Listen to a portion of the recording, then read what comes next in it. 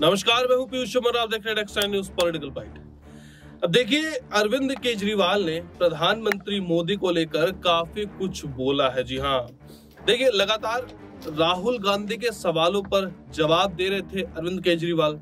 लगातार एलजी पर बोल रहे थे और अब देखिए कि प्रधानमंत्री को लेकर काफ़ी बड़ी टिप्पणी अरविंद केजरीवाल ने कर दी है।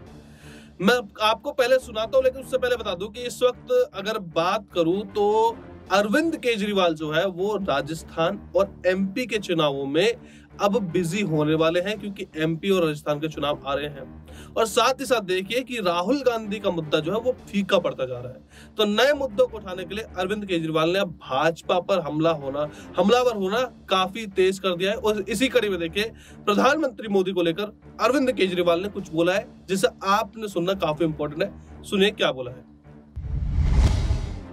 मैंने कहा, फिर मामला क्या है? तो कहता है, जी, अडानी तो केवल फ्रंट है। अडानी में सारा पैसा मोदी का लगा हुआ है।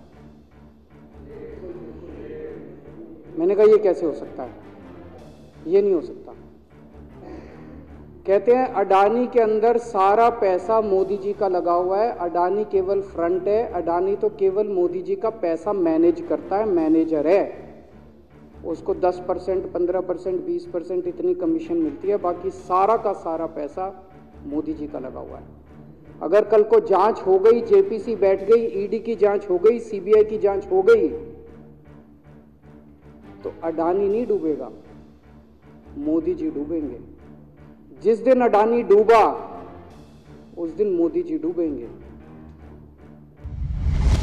तो देखा कैसे, अडानी और अंबानी को लेकर अरविंद केजरीवाल काफ़ी हमलावर हो रहे हैं। जी हाँ कांग्रेस की बात करें तो देखिए, कांग्रेस के नेता ही अभी तक अडानी को लेकर बार बार क्वेश्चन पूछ रहे थे, बीस हज़ार करोड़ रुपए किसने दिए, कहाँ से दिए, पूछा जा रहा था। लेकिन अब केजरीवाल ने भी अडानी को लेकर बोला है कि जितने भी पैसे अडानी समूह में लगे हुए हैं, वो अडानी के नहीं है, वो किसके हैं?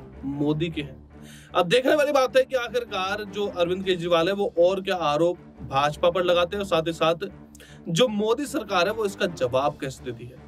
अगर ये वीडियो आपको अच्छी लगे तो इस वीडियो को लाइक कीजिए शेयर कीजिए हमारा चैनल सब्सक्राइब कीजिए, तब तक आप देखते रहिए नेक्स्ट न्यूज़ पॉलिटिकल बाइट